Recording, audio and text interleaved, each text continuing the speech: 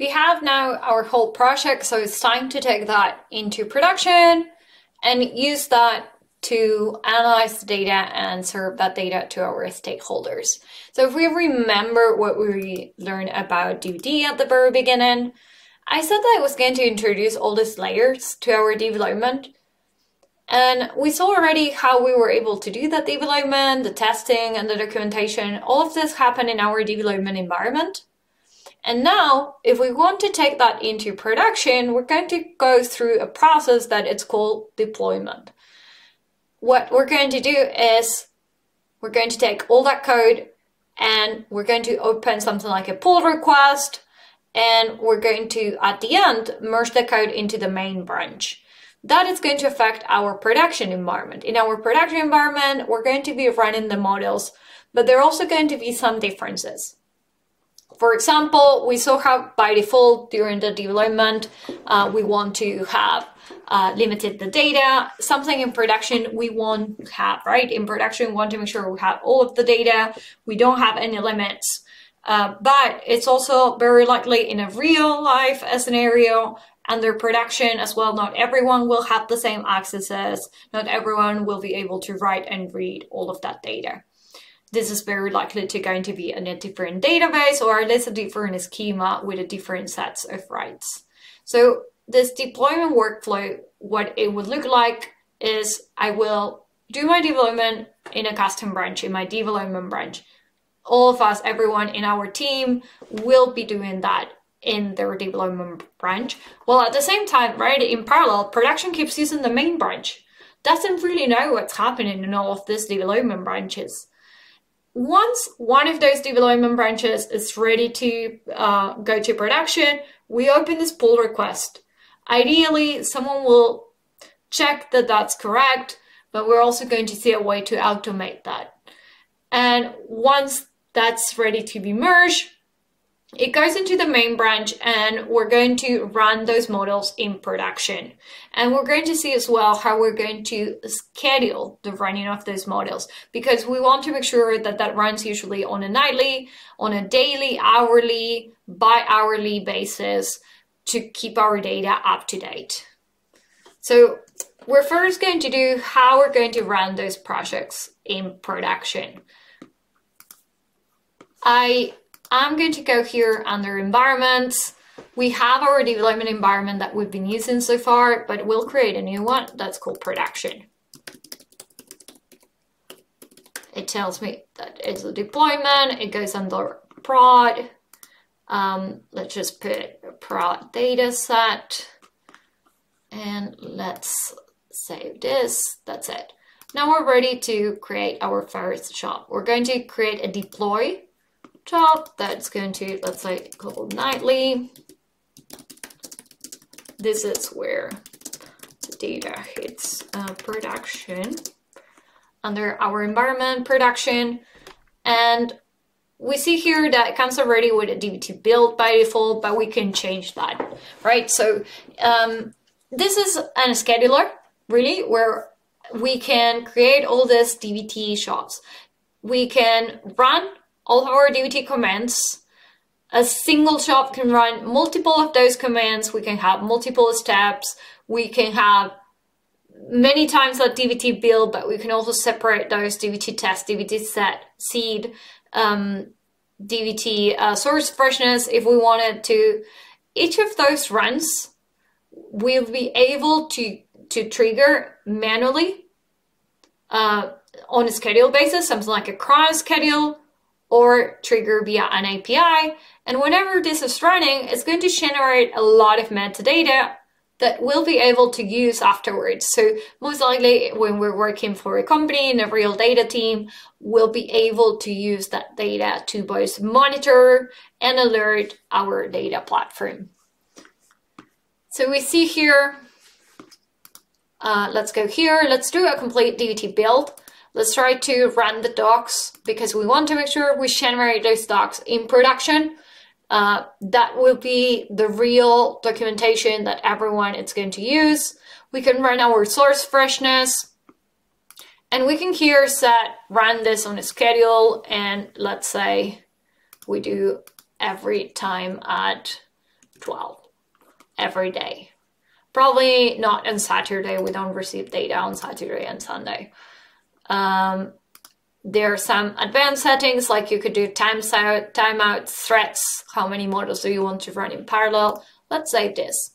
As I said as well, we can also run this um, on ad hoc basis. So I already merged some of the code that we've been working on uh, to make sure that we had some stuff to running here.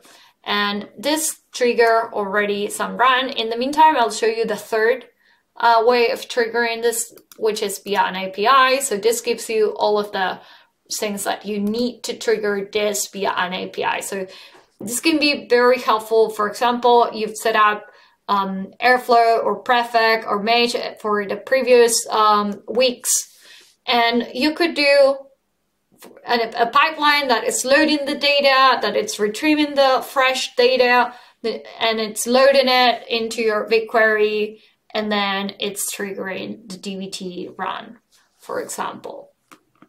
Let's go to, to this. This is probably almost done. And let's see what we can see in here. We see how was it triggered. We see the commit SHA. This is quite nice because this allows us to see exactly what had changed in the repository at that moment in time of the run. Um, we see how long it's running. In this case, it will be updated when it's finished. And we're going to see that every one of this has some steps additional to what we added. It clones the repository to make sure that it always has the latest in the main branch. It creates that connection to, in this case, BigQuery, but your data platform.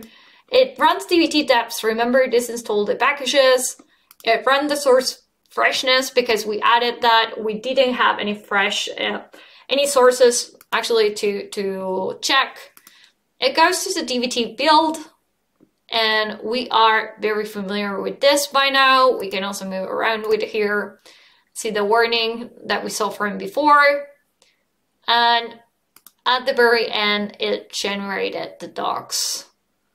And what we can see as well is under the artifacts, we have also the catalog that JSON and other JSON files that have all of the metadata that we need uh, if we want to analyze that or host the docs on our own.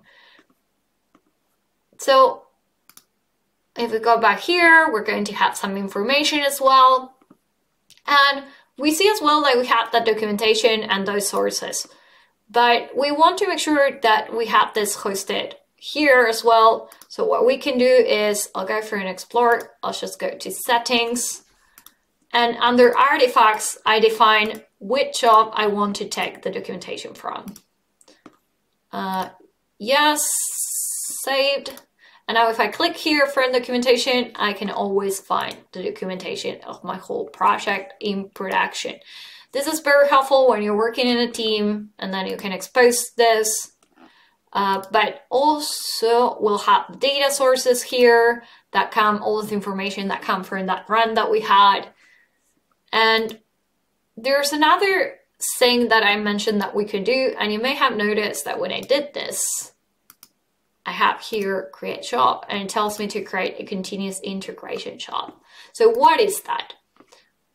When we are doing those pull requests, I said that we want to make sure that we automate as much as possible. So there's a good software um, practice, software engineering practice that's called CI/CD. Usually comes together. CI stands continuous integration, and CD means continuous deployment.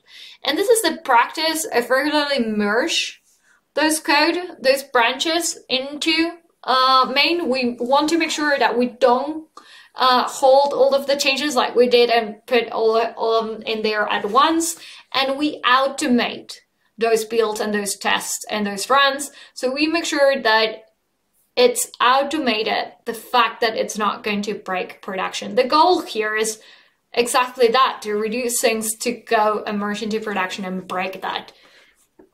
This is something that we can easily do with DBT Cloud. So if I were to go here, let's create this CI checks, avoid breaking production. Trigger by pull request. Notice that what this will do as well, it will create an schema called DBT Cloud PR, the name of our PR, it will run this and it will be drop after the pull request is closed. So this way we don't affect production, we don't affect development. It comes by default with this command that we're going to use. So run anything that has been modified and its children. We could, of course, add our own. So wouldn't it be nice you run things like DBT test um, and you create a test that makes sure that fails if your models are not documented, for example. Or um, you could add to run the test, for example, only and not just the building. We are going to compare everything against production in order to identify what has been modified. And um, yeah, we're ready again here under advanced. We can define how many threads if there's a timeout and we can save this. Um, there's another thing that we need to do here uh, under the pull request. We're going to open a pull request and then it's going to take the CI. This usually takes a little bit to impact, so we're going to take that time to make a change. There's something under fact trips that I identified that it's wrong. So we're going to use this opportunity. So here it says pick up location and pick up location twice, and this should actually have been drop off location. So let's fix that. Let's commit.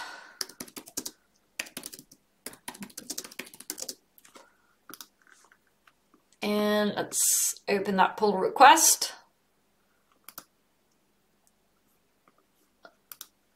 Create fixed location. And that's it. And it should, there guys. So because DBT was already linked to this repository because it was linked to my project, it already knows, and this is triggering that run.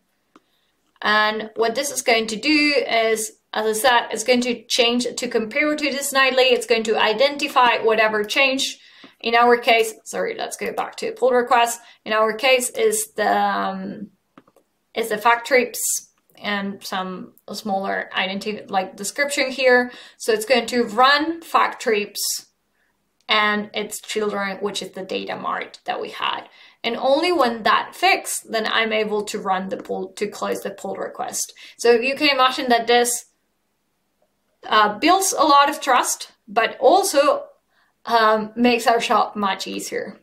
So everything went fine, so it should be able, there it goes, to see the successful check. So this is everything that we needed to do to transform that data correctly.